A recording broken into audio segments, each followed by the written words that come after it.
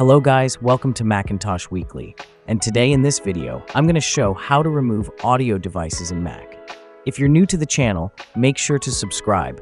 And now, let's begin. Here in Sound Settings, you can see a device named Background Music is present, and it's not built-in USB, HDMI, or DisplayPort. It's virtual.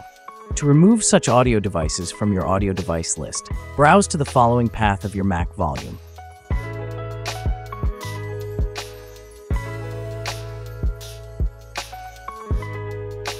And here you will find virtual devices to remove a device, delete the folder containing the content for the device you want to remove, empty the trash can, and then restart your Mac.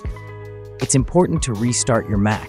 The audio device will not disappear from your audio devices list until you have restarted your computer.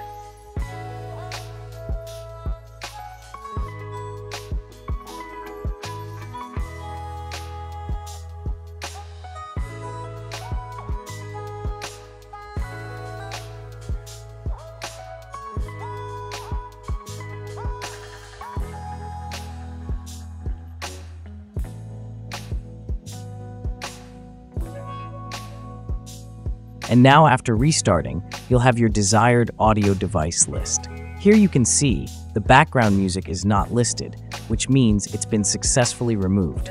So that was it. Hope it was useful. Consider like for the video, subscribe to the channel, and if you have any questions, just comment down below. Thanks for watching, and have a great day ahead.